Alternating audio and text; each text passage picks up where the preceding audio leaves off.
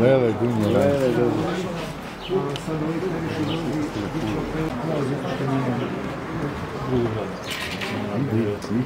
Vidiš?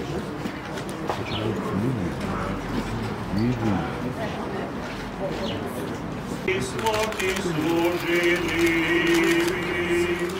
U gospodina ja se uzdam, duša se moja u njegovu uzdarje. Više no zoru straža noćna, nek du...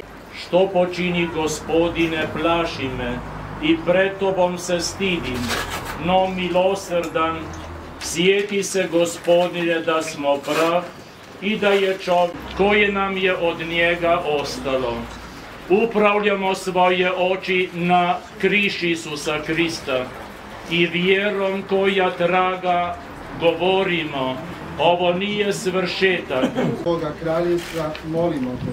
Gospodine, usliši nas. Krist koji te je po krštenju htio sebi pritjeloviti, neka se sada dostoji učiniti te dionikom i na njegovom vječnom počivalištu.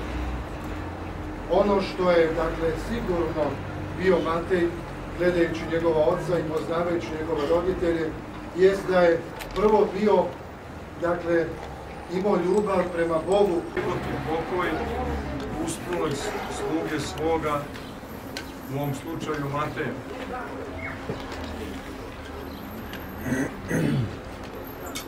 Sada je period još uvek slavlja Vaskrsenja Hristova.